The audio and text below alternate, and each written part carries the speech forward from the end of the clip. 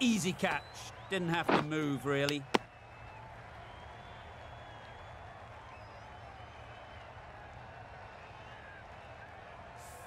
They have the wicket they wanted. A huge blow.